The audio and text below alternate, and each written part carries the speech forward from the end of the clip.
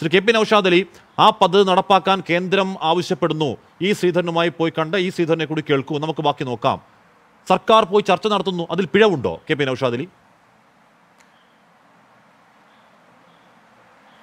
ഹഷ്മി ഇവിടെ C P എമ്മിന്റെ പ്രതിനിധികളൊക്കെ ഈ കേരളയിലുമായി ബന്ധപ്പെട്ട ചർച്ചകളിൽ പങ്കെടുക്കുന്നത് ഞാൻ ശ്രദ്ധിക്കുമ്പോൾ അവരൊക്കെ ഒരു സ്ഥലജല വിഭ്രമം ബാധിച്ചാണ് അവരൊക്കെ പെരുമാറുന്നത്. അവരൊക്കെ ഈ ആങ്കർമാർ ചോദിക്കുന്ന ചോദ്യത്തിന് ഉത്തരം നൽകാതെ ഈ കേരളയിലുമായി ബന്ധപ്പെട്ട വിശദാംശങ്ങൾ അതിന്റെ പ്രൊജക്ട് റിപ്പോർട്ട് അതിന്റെ വലിപ്പം അതിന്റെ മേന്മയൊക്കെയാണ് അവർ നിരന്തരം പറഞ്ഞുകൊണ്ടേയിരിക്കുന്നത്.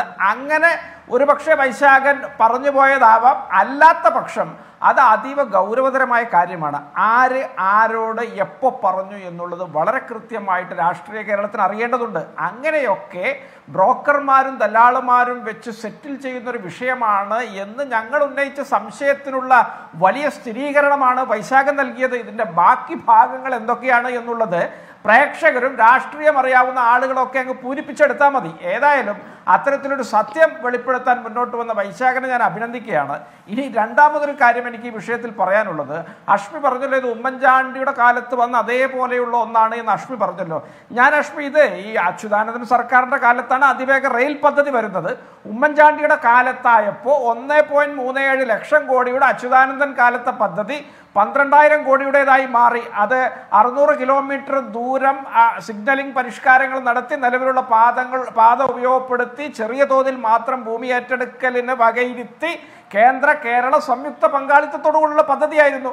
ആ പദ്ധതിയുടെ ഡി പി ആർ ആണ് രണ്ടായിരത്തി പത്തൊമ്പത് ജനുവരിയിൽ പിന്നെ പിണറായി വിജയൻ സർക്കാർ റദ്ദ് ചെയ്തത്. കേരള ഹൈസ്പീഡ് റെയിൽ കോർപ്പറേഷൻ പിരിച്ചുവിട്ടു. കേരള റെയിൽ ഡെവലപ്മെന്റ് കോർപ്പറേഷൻ രൂപീകരിച്ചു. അതിനുശേഷമാണ് ഈ സെമി ഹൈസ്പീഡ് പദ്ധതിയുമായിട്ട് പിണറായി വിജയൻ രംഗപ്രവേശം ചെയ്തത്.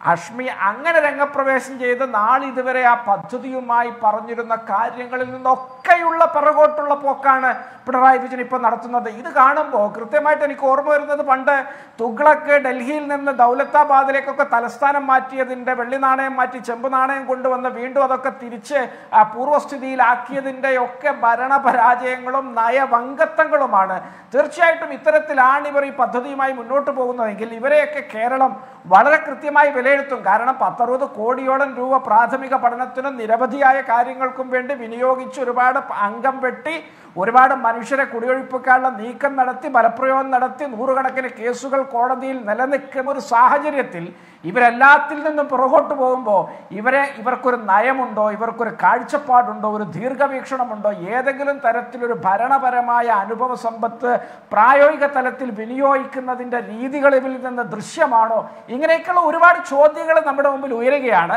അതിലൊക്കെ ഉപരിയായിട്ട് സി പി എമ്മിനെ സംബന്ധിച്ചിടത്തോളം നേരത്തെ വൈശാഖം ചൂണ്ടിക്കാണിച്ചതുപോലെ എല്ലാം ഒരു ഔട്ട് ഓഫ് ദ വേയിലൂടെയുള്ള പരസ്പരം സെറ്റിൽമെന്റിന്റെ രാഷ്ട്രീയം പരസ്പരം ആഭിമുഖ്യം പുലർത്തി പരസ്പരം ചേർന്ന് പോകലിന്റെ ഒക്കെ വലിയ അവിഹിത കർട്ടന് പുറകിലുള്ള രാഷ്ട്രീയ നാടകങ്ങളാണ് നമ്മൾ ഇതിന്റെ പുറകിൽ സംശയിക്കേണ്ടത്.